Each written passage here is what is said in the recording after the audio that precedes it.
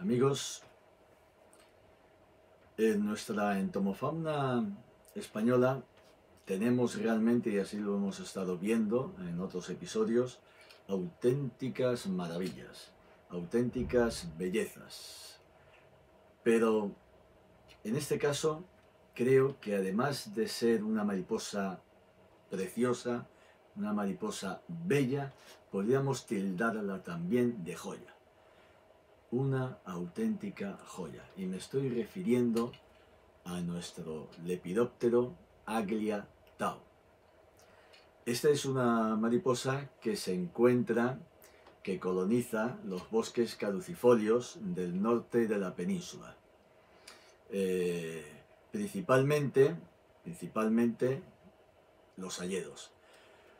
También se encuentran en los avellanos, puesto que la larva, la oruga, se ha podido comprobar que, y se ha visto, ¿eh? se ha visto eh, que se encuentra eh, comiendo en las hojas de los avellanos. También en los abedules, hay quien dice en los robles, no estoy muy seguro, mm, en el Crataeus también, en el sauce, pero como digo, fundamentalmente eh, se alimenta del haya y también vamos a decir del aviano.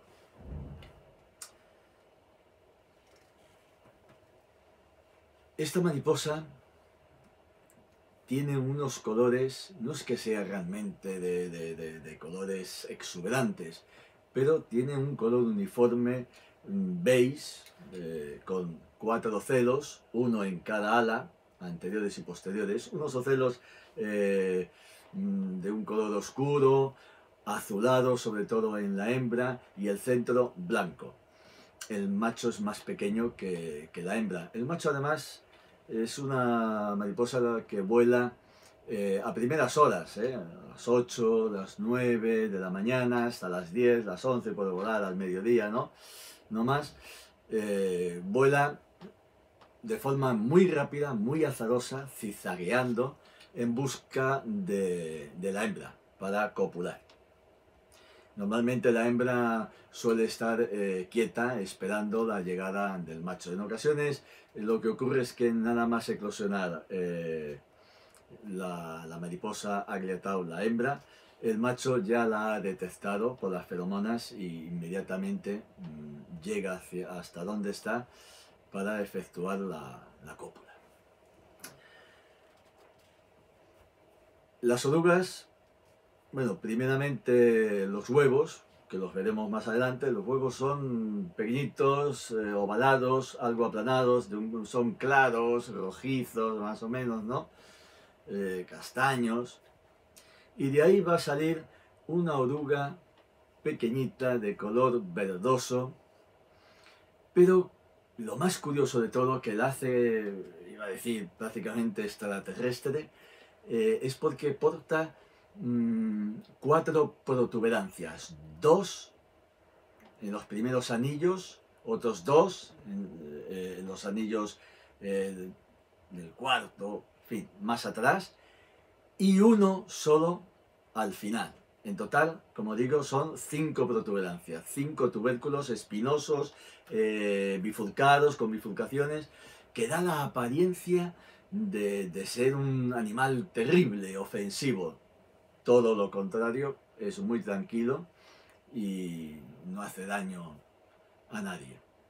Pero es curioso, es curioso poderlo ver. Estas protuberancias las va a perder hacia la tercera muda y conservará un color verde, color verde esmeralda, muy bonito. Luego, eh, hacia el mes de... Bueno, hemos dicho primeramente que eh, el macho vuela en torno al marzo-abril, pone, deposita los huevos, eh, en los 14, 15 días aproximadamente, 12 días sale, eh, eclosionan las orugas, visto un poquito el ciclo, ¿verdad?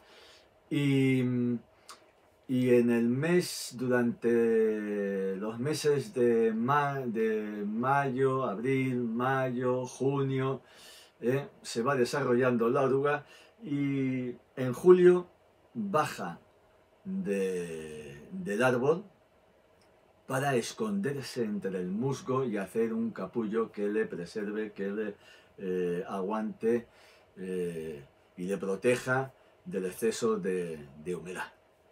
Y así va a pasar, como veremos, todo el otoño y todo el invierno para nuevamente en el mes de abril, en el mes de, marzo, abril-marzo, según el tiempo, pues volver a surgir con todo su esplendor, con toda su belleza, la Aglia Tau.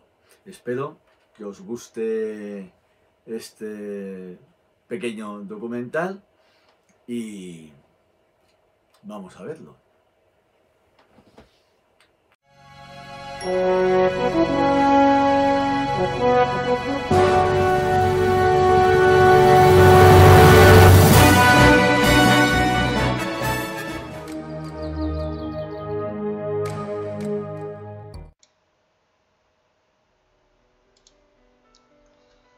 Nos encontramos en Asturias, en el concejo de Lena, primeras horas de la mañana del mes de abril a primeros, y la niebla empapa las hojas de las hayas, abedules y a toda la exuberante vegetación que es la casa donde se encuentra la Aglia Tau, nuestra joya, y también muchas otras especies que debemos preservar. Vemos entre la niebla surgir como fantasmas los árboles y arbustos que albergan infinidad de insectos, muchos de ellos todavía descansando. Y precisamente en esta imagen que estamos viendo, este haya, de aquí provienen los huevos de nuestra protagonista, que ya están naciendo y queremos ver todo su desarrollo.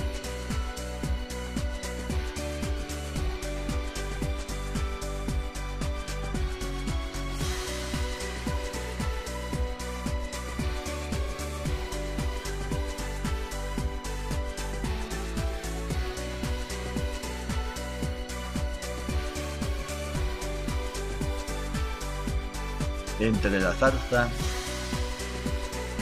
vemos la bien construida tela del argiope, género de una araña que parece un tigre. Esta tela soporta las múltiples gotitas que la niebla ha depositado sobre ella.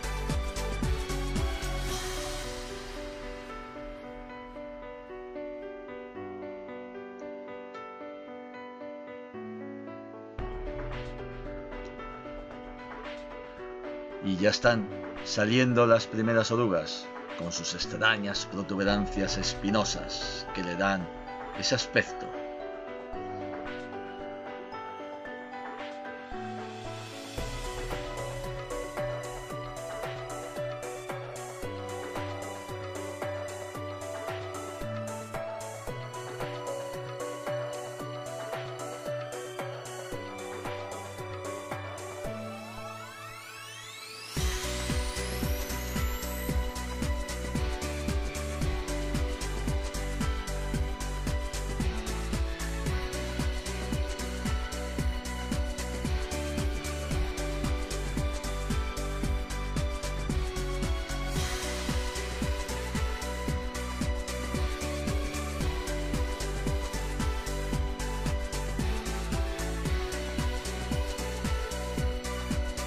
Enseguida se dirigirán a la hoja para comenzar a comer.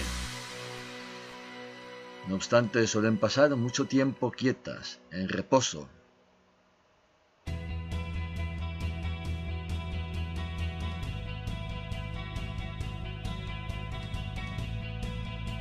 Suelen colocarse en el envés de la hoja para así poder estar escondidas y pasar lo más desapercibidas posibles.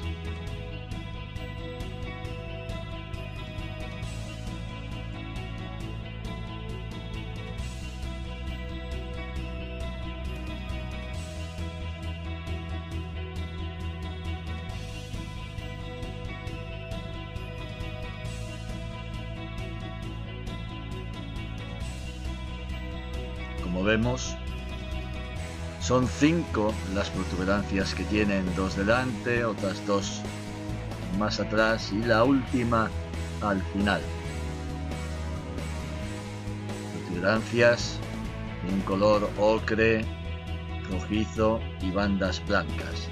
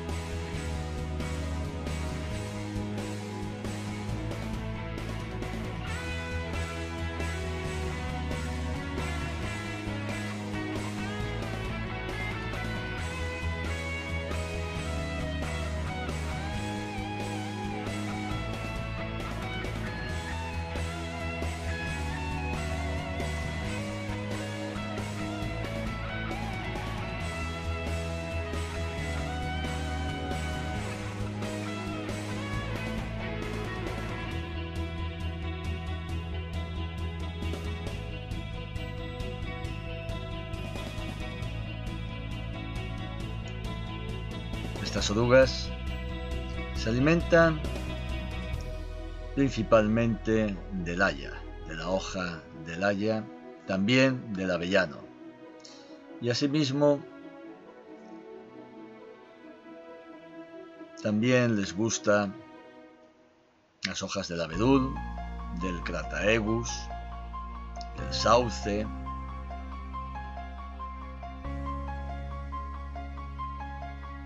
pero sobre todo, como decimos, de la hoja del haya y del avellano.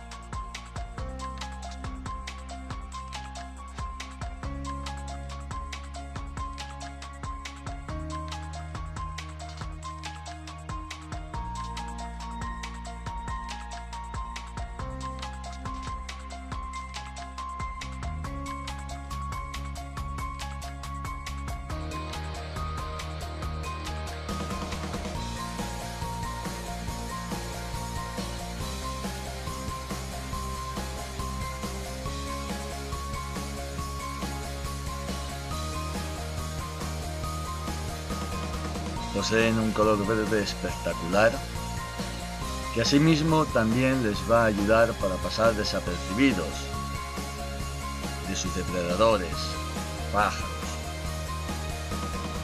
Y aquí vemos cómo durante las diferentes mudas van perdiendo esas protuberancias hasta que al final ya no posean ninguna.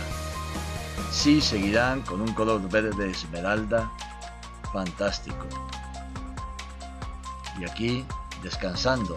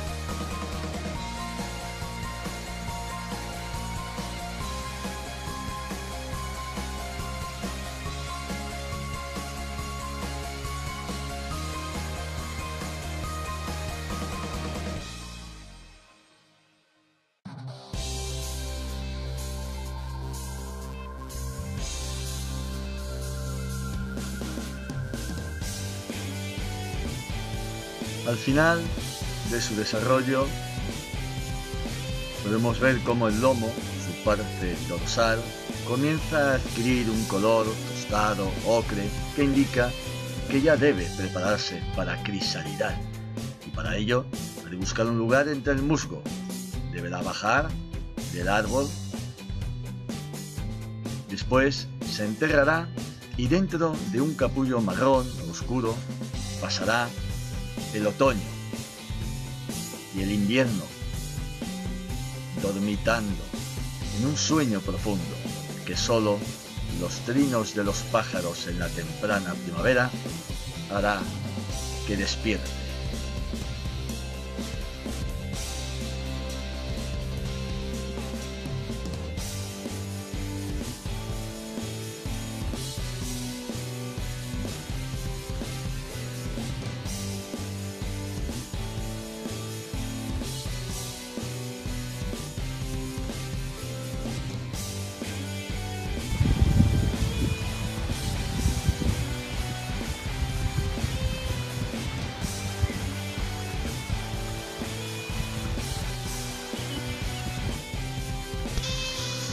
Así, aquí, vamos a descubrir uno de esos capullos y una crisálida escondida entre el musgo.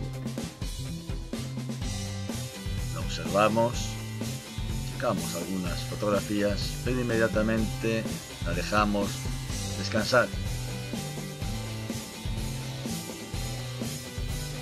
Queremos que sufra ningún daño.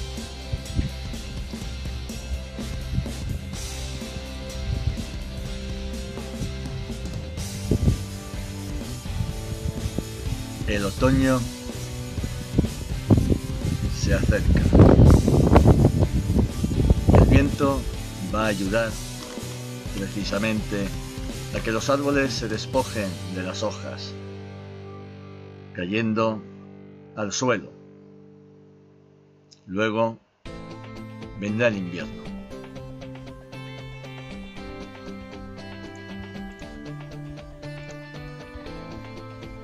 Y el invierno aportará el agua al suelo, la mantendrá húmeda, esponjosa toda la tierra, ayudará a que los nutrientes surjan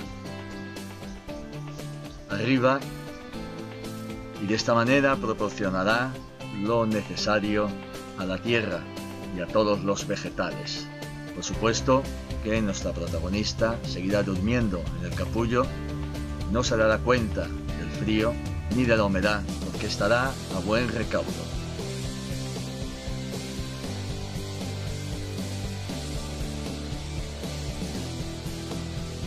Y enseguida vendrá el de hielo llenarán los arroyos, los ríos que nutrirán a toda la tierra, empapándola, haciéndola esponjosa, dándole vida.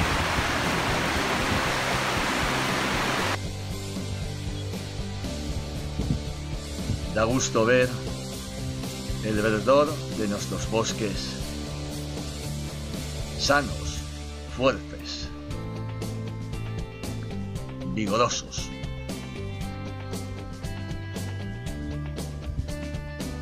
Y así comienzan a salir las primeras águilas tau, tímidas.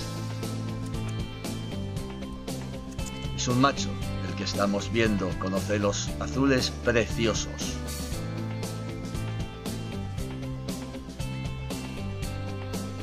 Ahí le tenemos, secando sus alas, nervioso por empezar a volar, por encontrar a su compañera, a una hembra,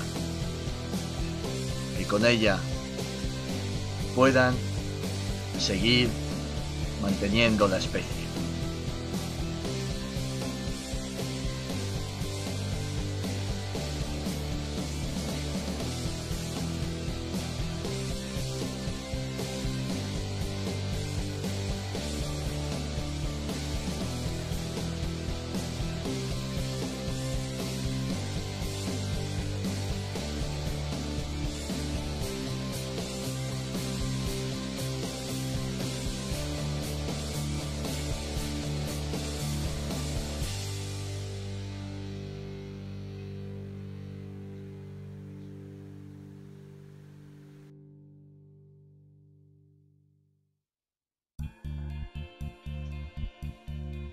Y aquí tenemos a nuestra primera hembra.